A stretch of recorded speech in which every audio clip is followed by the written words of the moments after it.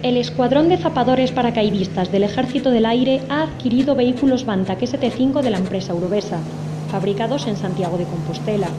Este vehículo 4x4 cuenta con protección antiminas y cargas explosivas improvisadas.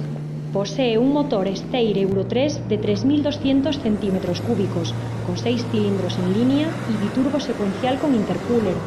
Su peso aproximado es de 8.400 kilos y su capacidad de carga de unos 800 kilos. En cuanto a velocidad, puede alcanzar los 110 km por hora y su autonomía es de 600 km.